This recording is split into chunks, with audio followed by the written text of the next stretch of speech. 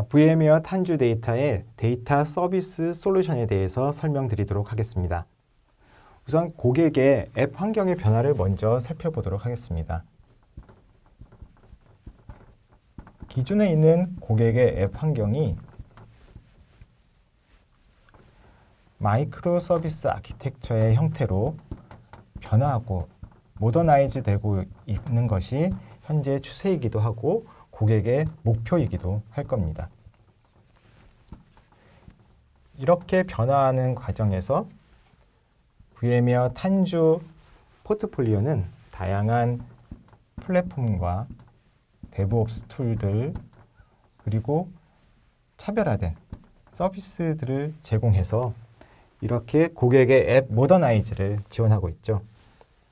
근데 데이터베이스 관점에서 이 환경을 보다 보면 약간 아쉬운 부분이 있습니다. 이렇게 앱은 modernize 되고 있는데 데이터베이스는 여전히 monolithic 형태로 사용되고 있는 경우가 대부분이기 때문입니다. 이렇게 된 이유의 가장 큰 부분은 여전히 데이터를 관리하는 주체는 인프라팀에서 시스템과 데이터베이스를 통제 중심으로 관리를 하고 있기 때문에 이런 일이 발생된다고 볼 수가 있습니다.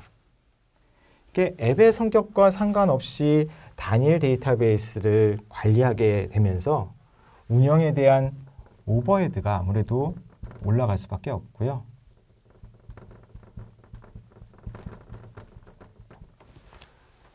개발자에게 있어서는 데이터베이스에 대한 통제가 먼저 있기 때문에 생산성이 떨어질 수밖에 없습니다. 또한 여러 앱이 단일 데이터베이스에 붙어서 작업함으로써 어떤 보안적인 문제도 야기시킬 수가 있게 되죠.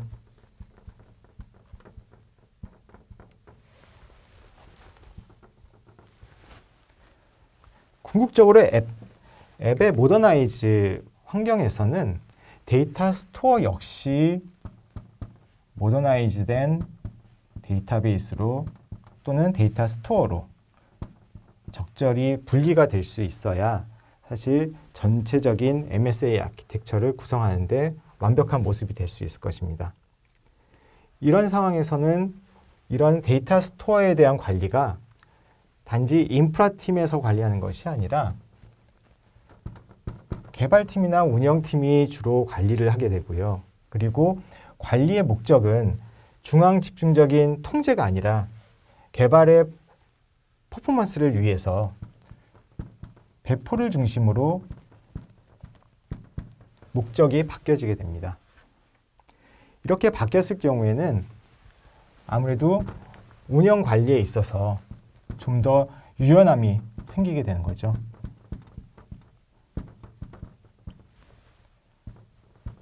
그리고 당연히 개발자에게 있어서도 즉시의 데이터 환경을 바로바로 바로 받을 수 있기 때문에 개발에 대한 주기가 빨라지고 퍼포먼스가 올라갈 수밖에 없습니다.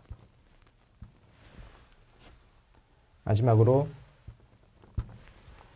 앱 간의 데이터들을 서로 개별적으로 관리를 하고 있기 때문에 보안에 대한 문제 역시 같이 해결될 수 있는 그런 부분이 있습니다. 여기에서 MSA architecture를 봤을 때 data store는 항상 이렇게 통일된 RDBMS만 사용하는 것은 아닙니다. 필요에 따라서는 앱의 성격에 따라서는 메모리 캐시가 필요할 때가 있기도 하고요. 또는 메시지 브로커가 필요할 때도 있습니다.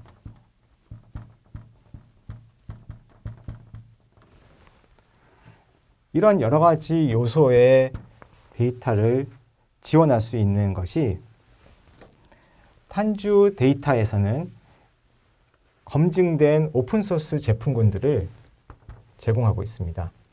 RDB, RDB 영역으로서 Postgres,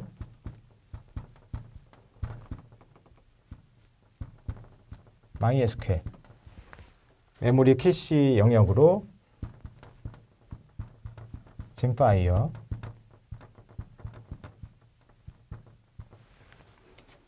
메시지 브로커로서는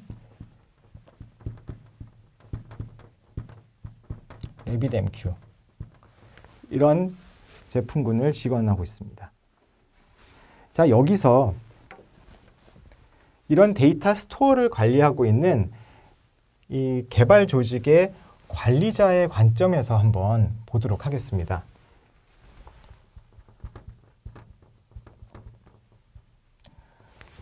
관리자는 이렇게 데이터를 관리하면서 우선 데이터를 설계를 해야 되고요. 그리고 이런 데이터를 최적화해야 되겠죠.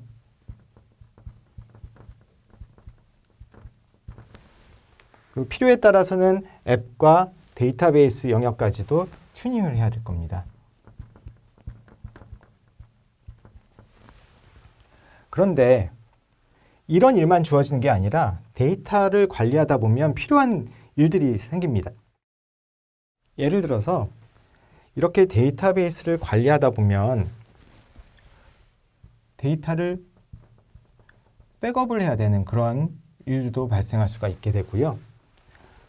주기적으로 시스템을 모니터링하고 데이터베이스를 모니터링하는 일도 있겠죠.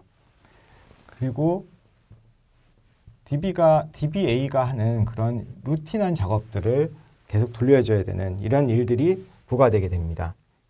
이런 일들은 개발자 조직에 있는 관리자로서는 좀 낯설 수도 있고요. 그리고 기존의 DBA라 하더라도 좀 귀찮고 번거로운 일이기도 합니다.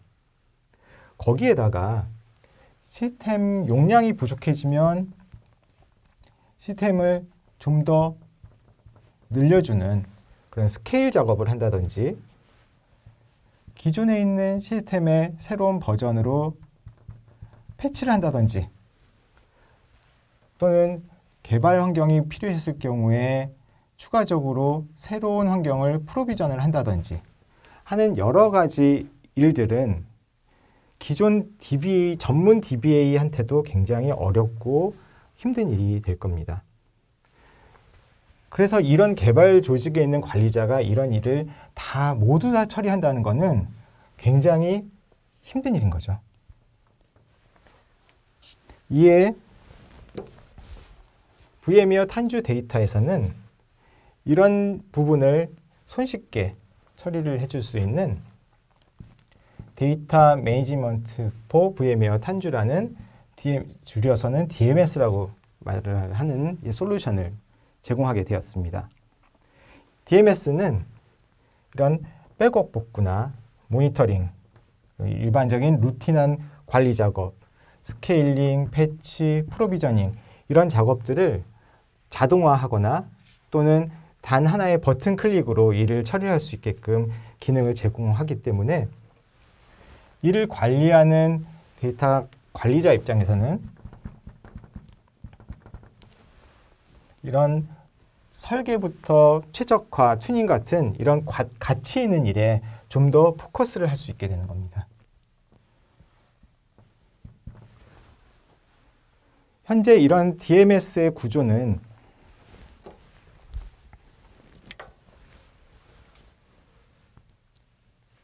bare metal 환경이나 클라우드 환경 위에 VMware, vSphere, 가상화 환경을 기반으로 하고 있고요. 그 위에 포스트그레스나 MySQL을 통합해서 관리할 수 있도록 GA 되어 있습니다. 현재는 여기까지 GA 되어 있지만 향후의 로드맵으로는 분석 플랫폼인 Greenplum 그리고 메모리 캐시인 젠파이어 메시지 브로커로서 RabbitMQ 이런 제품군들까지도 같이 support할 수 있는 로드맵을 가지고 있습니다.